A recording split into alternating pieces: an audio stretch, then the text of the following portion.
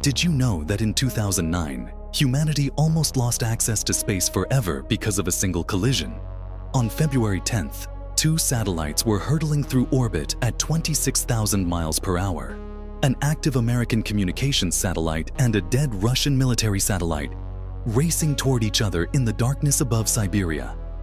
At exactly 4:56 p.m., they collided with the force of an explosion.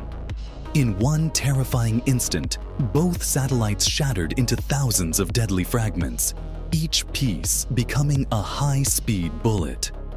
This was the nightmare scenario scientists had warned about for decades. The Kessler syndrome, a chain reaction where debris creates more debris, trapping us on Earth permanently. Each fragment could destroy another satellite, creating even more pieces, spreading like a virus through space. For weeks, experts watched in horror as the debris cloud expanded.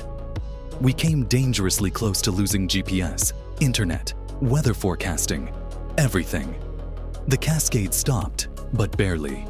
Today, over 34,000 pieces of debris still orbit above us, and the next collision could be the one that seals our fate forever.